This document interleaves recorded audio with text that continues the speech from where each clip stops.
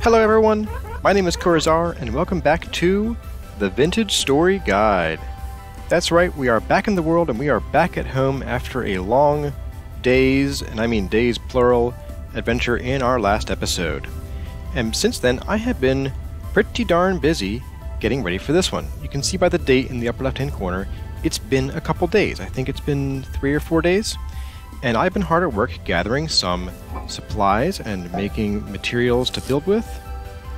I have been gathering some firewood, just a little bit of it. And while I've been here, this skep has actually become full of honey.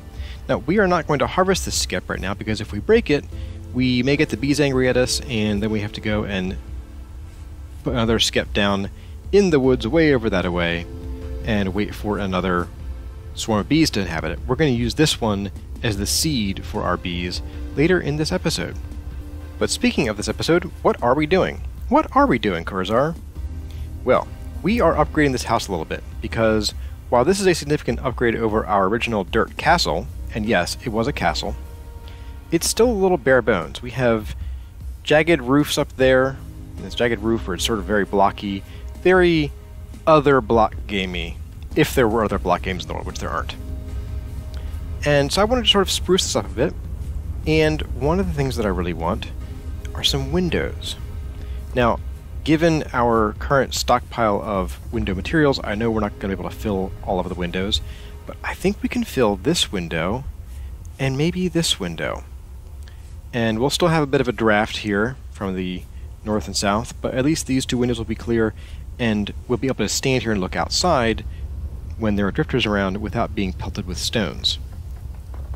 So, what do we need to make glass? Well, first we need quartz. We have some of the clear quartz in this basket, but this makes that sort of foggy quartz, and I'm not a big fan of that for our final house. It looks sort of primitive. In this basket, we have 24 regular quartz chunks. Now, we had about 19, I think, after our trip to our house. I spent most of the last night in game panning through gravel to get the last five or so uh, pieces of quartz to use for today. So we need quartz, and then we need to be able to smelt the quartz. But look at that temperature. It takes 1,350 degrees Celsius to smelt this stuff. And our best fuel is peat, which caps out at 900 degrees. We will need something significantly hotter. If we look in the handbook, we can look up different kinds of coal. And there are basically four main kinds. One is not shown here. We have brown coal, which caps at 1100 C. We have black coal that burns at 1200. We have anthracite, which burns at 1200 as well, but for longer. And we have charcoal, which burns at 1300. But that's still not good enough. So how do we get a fire hot enough to smelt quartz? The answer is with a bloomery. A bloomery is a very low-tech oven or smeltery that basically uses clay bricks to reflect heat and, and trap it so that your material inside gets to a higher temperature than it normally would given the fuel that you're using. And that is why I have been cooking up these fire clay bricks. We can turn these into bloomeries, and then we can get to higher temperatures with them. To make a bloomery, all you do is you take your fire clay bricks, drop them in your crafting grid like this, and you have your bloomery base, and then you also need a lid, or a chimney, I should say. And there we have the basic parts of a bloomery. Now, something to note that's important about the bloomeries is that once you place them down, you don't want to break them until you're done using it. And you do have to break it each time you smelt with it unlike a lot of other fire-based features in this game, such as uh, fire pits and kilns, bloomeries don't carry the risk of setting your house on fire, but for roleplay's sake, let's just put this out here under the awning like that. And there we have our bloomery. So next, we need our quartz, and you can add items by just holding right click, one at a time, or if you crouch, you can add five at a time. And 24 is the maximum number of pieces of quartz that you can put into one bloomery at a time. Now it's asking for fuel, and if you look at the little overlay, it wants specifically some kind of coal, specifically black coal, charcoal, coal cokes, or anthracite coal. We have none of that. So how do we get coal or charcoal? Well, coal must be dug out of the ground. We don't have a pickaxe. Yes, we have one, but no, we don't. So that leaves us with charcoal, which is why I've been gathering these stacks and stacks of logs. We're going to make a charcoal pit, and then we're going to pre-burn this wood in an airless environment and turn it into charcoal. I think I want to put our charcoal pit right in here. It's close for convenience, and we won't be downwind of it, but I think I want to flatten this land out first, so I'll go ahead and do that.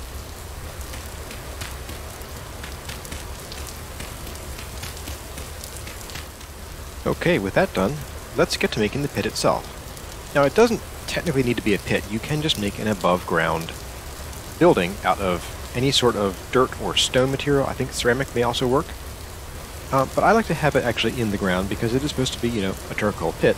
And I have a design that I like to use. It works well for me. So I'm going to use my patented Kurazarrh style 5x5x3 charcoal pit. And let's get to digging.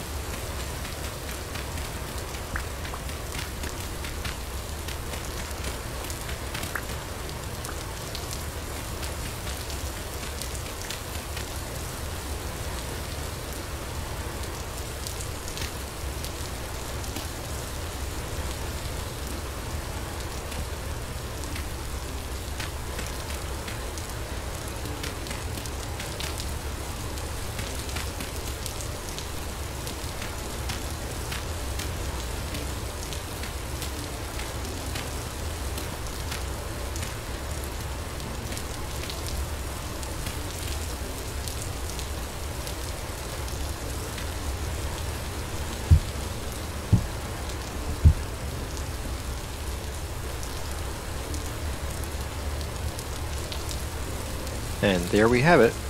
It's not quite complete yet. There are a few touches that I will add later as we get more material to fill in the walls and to redo the floor. But for now, this will do. Except for that grass. Let's get rid of you. Okay, let's get burning. We are going to take almost all of this wood and we're going to throw it in that pit. I am going to sort of resize it in there by shoring it up with some dirt because we don't have enough to fill out that entire charcoal pit and then we'll get to it. So let's hold shift and right hold right click to pick up four at a time. Eight at a time, I stand corrected. Okay, let's get stacking. We're going to only fill up a small corner of this area, but that will let us sort of box it in with dirt, and then we can light it up. So let's go ahead and set these down.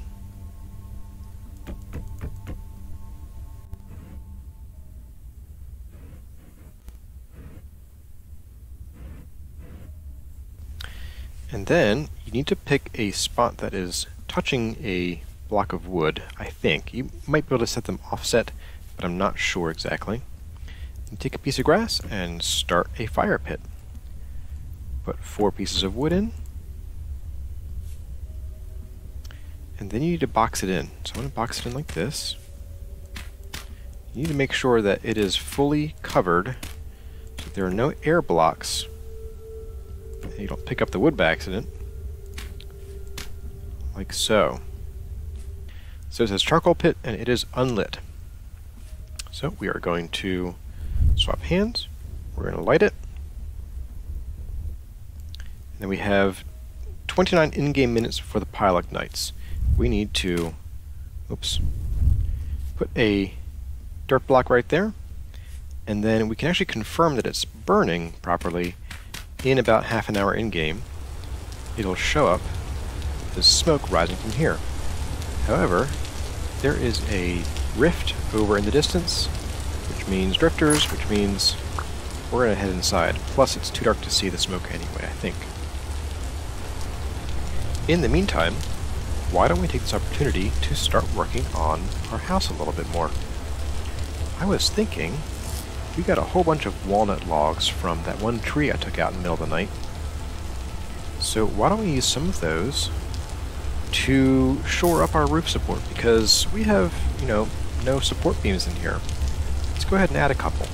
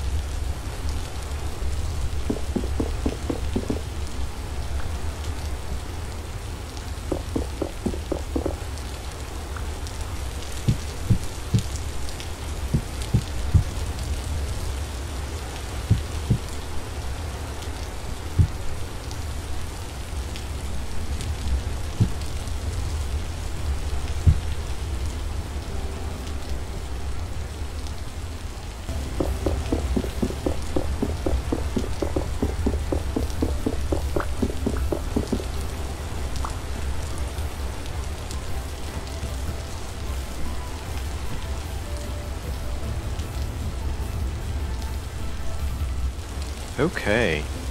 Well, now we have a partly finished loft over here. And we have the start of a fireplace. And I'm going to go out there and finish that chimney. And let's smooth out the exterior of the roof a bit.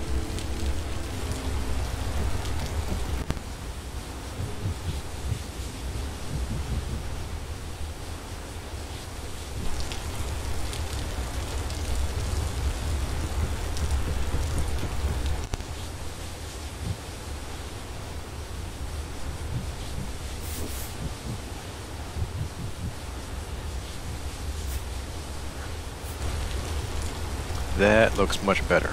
Or it's starting to. We'll make some more improvements to it.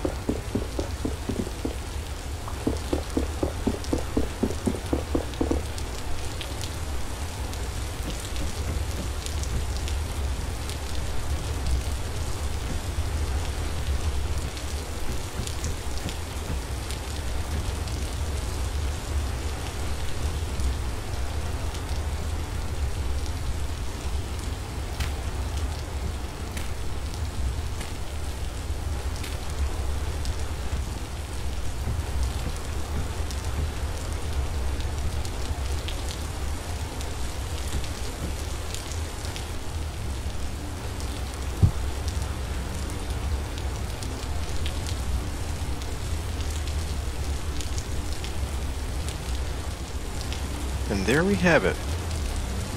On the outside we have some nice smoothed over roof lines. I want to do something about this sticking out. I might have it protrude a little bit more, but I'll play with that a little bit later. We have a chimney, which you'll see doesn't quite reach the ground. Why doesn't this reach the ground? Well, because I have some plans about what to put here. And it involves having a sort of raised area of land here. And on the interior, we now have a loft with a floor. We have a fireplace. And we have some support beams made of walnut logs. And I had to make some concessions about the interior roof lines because if I didn't leave them blocky here, I'd only have a one block wide walking path to and from the bed. So I figured we'll just leave it like this for now and we won't care eventually what to do about this outside area. I was thinking, we have a lot of berry bushes. Not those. We have a lot. 16, 64, more stacks. We have stacks and stacks of berry bushes, all scattered around these chests. And I think it would be cool to make a berry vineyard. I realize these are currants, not grapes, but if you squint a little bit, they're all just blocky pixels, so they might do the trick. I think I want to put it right out here, adjoining the house. Oh, by the way, I realized while working on this that I kind of built the house lopsided. I wonder how many of you this has been bothering, but these windows are not symmetrically placed in the house.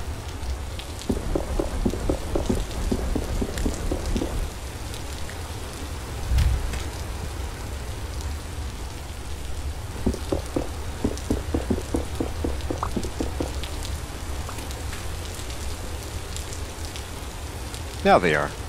Much better. So let's get to building this little raised bed with our new vineyard in it.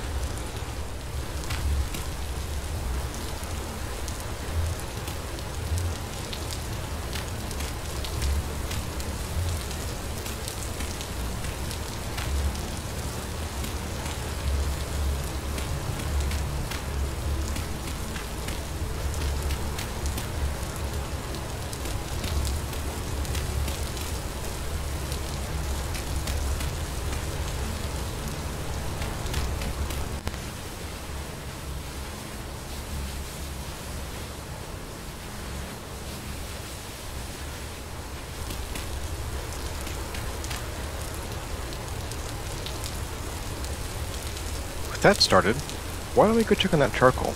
It should have been over 18 hours by now. Here goes nothing. Hey, there we go. Now charcoal is best harvested with a shovel, although with a stone shovel it doesn't make a whole lot of difference, but we'll do it anyway. Now each stack of logs you place down will turn into a variable amount of charcoal. You'll notice that although, except for this part right here, all of these layers were stacked two full blocks high with wood. But here we have seven layers of charcoal on top of a block of eight layers. We have eight and two, we have just eight, and then the single layer we had has just five.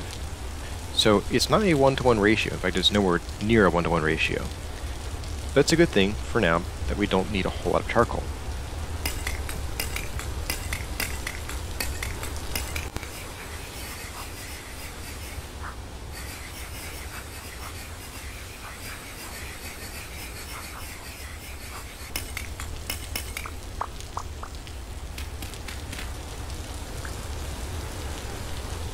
Okay, with 38 charcoal in hand, let's go smelt some glass.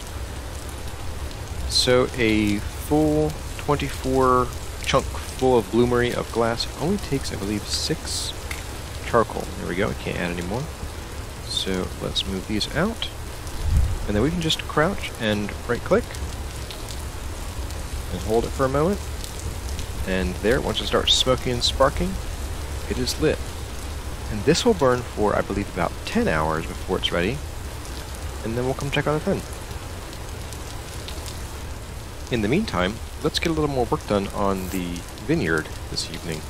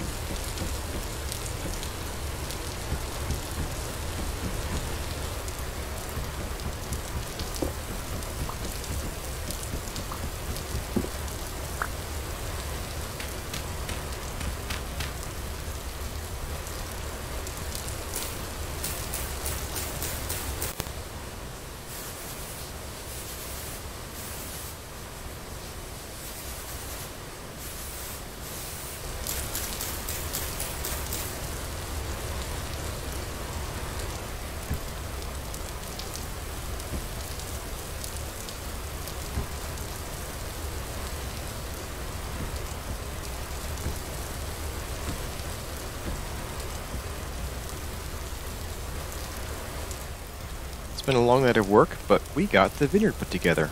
Check this out. So we have four rows, each two tall and eight blocks long of blackcurrant bushes. So we have a full stack of 64 bushes here. And we even have the sort of vineyard frames. Had to jigger them a little bit to make them fit the area, but I kind of like it. It looks, it looks like it was made to fit what we had on hand, which is kind of how it really is thrown together with fences we made with an axe instead of a saw. So with that done and out of the way, let's check this guy. Looks like he's still burning. Maybe the 10 hours thing is a bit outdated. I'm not sure. We'll come back in a little bit. After I finished the vineyard outside, I went and did some organization in the house, and got my inventory sorted out, ate some food, and came down here and replaced all of our dirt walls with some dark mud brick. And I think this looks much better. With the vineyard going, and the glass still smelting out here, I think it's time for the other project I had in mind today, which involves these bees. I want to make a small apiary. I'm thinking right over here, maybe come out here and take out one of these maple trees, or maybe just plop it right in here, right in here somewhere. Yeah, I like it right over here. So I'm going to take out probably both of these nearest trees here. We'll need the wood anyway in the future. And I'll start getting together an apiary. First thing you need for an apiary is, of course, bees. But you need some more things too. After all, what do bees need? They need flowers. And on top of that, you also need some kind of protection, because there are raccoons that will very happily come and destroy your skeps when they are populated with honey So we need some flowers. Let's go see what we can find. Now, bees in Vintage Story are very picky eaters. And while you can just plop down any old flower in front of them, the best flower of them all to use is, of course, lupins. Just kidding. You can use any flowers, they don't care about lupins. I just like lupins a lot. So let's go gather some flowers, and we'll bring them back to our house and start on our little apiary. I recommend at minimum about 8 flowers per skep. Some players may tell you to go more. I've had perfectly fine luck with 8 flowers per skep. So we'll start with that as a minimum.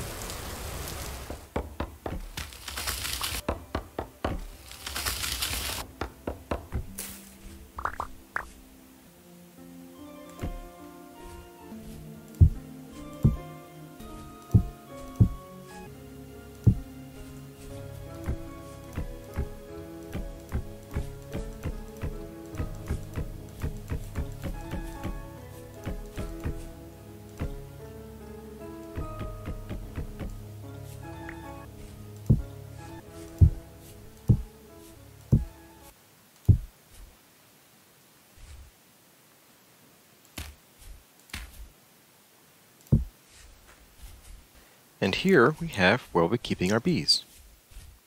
Similar to the farms, I have pushed back the dirt a few blocks so that any raccoons that are creeping out from the forest can't get a running start and jump their way in, although we can. And next we're going to show how we place the skeps. I like to keep them at least one block off the ground, but our seed skep I keep a little higher to remind myself not to actually harvest it. I'm going to grab some logs from here. And the spawning conditions for raccoons are that they must spawn next to logs. However, this only applies to logs that are grown from trees. Logs that are placed by hand do not cause raccoons to spawn. So I'm going to come in here and find the center, which I believe ought to be here. One, two, three, four. And one, two, three, four. Perfect. Put one there. Put one there. One there. There, there, there, there, there, and there. Bees don't particularly like having their colonies messed with. So when you break their skeps, sometimes they'll get angry and they'll swarm and they'll follow you around for about a solid minute, stinging you for a little bit of damage each second or so.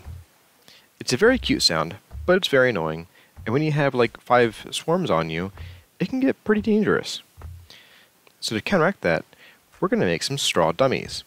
And I like to place them behind a couple of these logs set into the ground by a block, so you don't see them as much. And straw dummies are made with a stick and two hay bales on top of it. We get one straw dummy. I don't think they stack, do they? No, they don't. So we need to drop these guys in our inventory and then go drop them in their holes. And done. Let's go get our flowers and then we'll get our bees.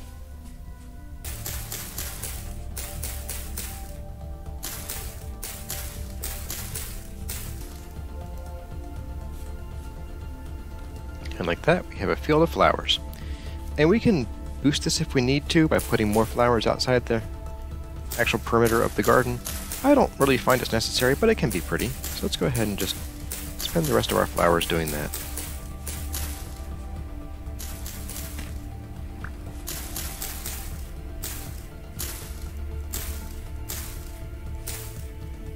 And there we go.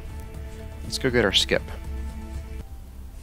And once again, don't forget that in order to pick up your you need to cycle down to your bag, put it on the ground or in your inventory if you want to, and then we can pick this guy up. Now, moving a skep will actually cause it to reset its honey timer. So this honey that was in here is no longer going to be available to us. It's just sort of gone. That's okay. We'll get more. And then we place our skep there. As you can see, it has yet to see the flowers, but it is populated and it will grow very quickly, very soon. Let's go check on this glass. I think it ought to be done by now. Yes, we are done. Okay, let's break these. And when you break your bloomeries, both the chimney and the base, you'll get back typically fewer bricks than you put into them. So you will need to go and restock all your fire clay at some point, but as long as you make them in big enough batches, you'll usually find you have about three quarters of return on that investment.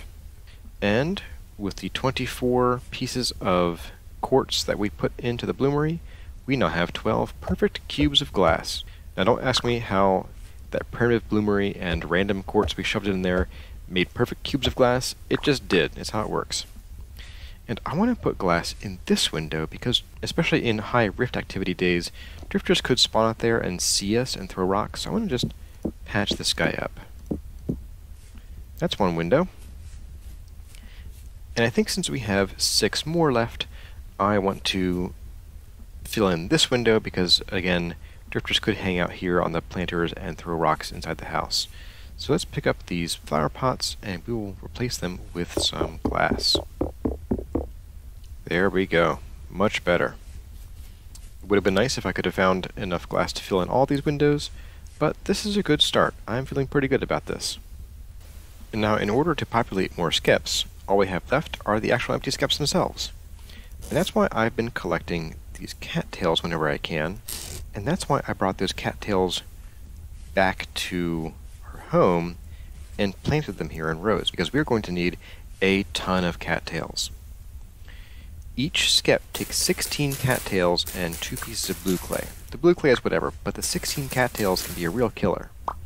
Now when you break a skep, you will get some back. I think it's close to half as many cattails as you put into them, but that's still a significant investment. It means we're going to be spending a lot of time cutting cattails. Later, this will get faster with the scythe, but for now, a knife it is. Alright, skeps acquired.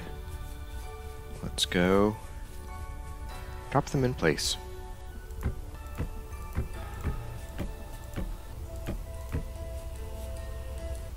And done. In probably five or ten days time, I think most of these should be full of bees, and maybe even some honey. But we'll come back to that when those are ready. For now, we're going to call this job complete. Anyway, everyone, that's all we have time for in this episode. We did a lot today. I hope you enjoyed this stay around home building focused episode. Let me know what you think in the comments. My name has been Kurazarrh. Thank you all for watching, and I'll see you in the next one.